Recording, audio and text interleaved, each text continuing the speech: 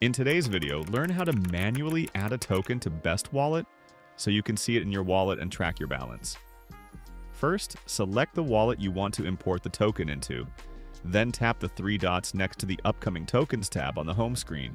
Choose Manage Tokens, and then search for your token by name or ticker. If it doesn't appear, tap Import Token to continue. Now you'll need the token's contract address. You can find this on coin information platforms like CoinGecko, CoinMarketCap, or the token's official website.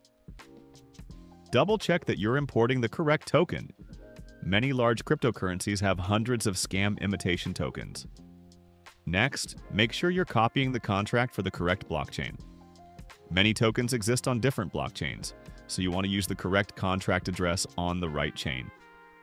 In Best Wallet, first choose the right chain, then paste the address in. If the contract is valid, the token name, ticker, and decimal will autofill. You can import it to just this wallet or all your wallets. Once you're happy, tap Confirm. Double check the details, then hit Import. You'll now see the token listed in your wallet. If it doesn't appear, try refreshing your token list. And that's it.